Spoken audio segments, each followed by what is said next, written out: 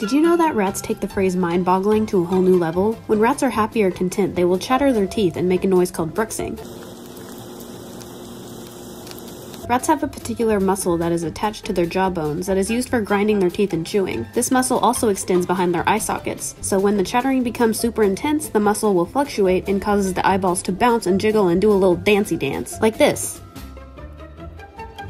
To most people, it does kind of look like a mini rat seizure, but don't worry. In the right context, boggling is a sign of happiness and relaxation. It is also called rat purring by many chaos potato lovers. Truthfully, I myself am making this video as an excuse to make a compilation of my own rats boggling, so here you go. Wiggle, wiggle, wiggle.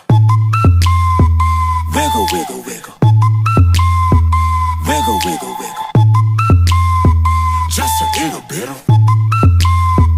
Wiggle, wiggle, wiggle. Yeah.